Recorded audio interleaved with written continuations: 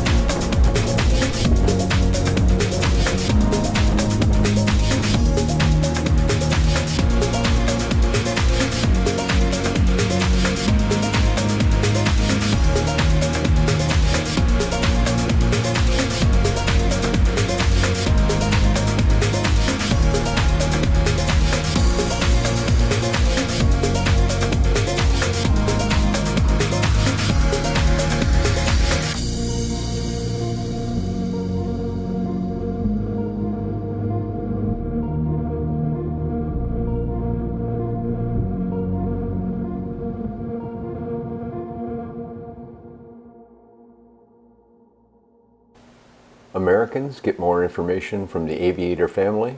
Everyone else, Magnus Aircraft. Thanks so much for watching. I really appreciate it.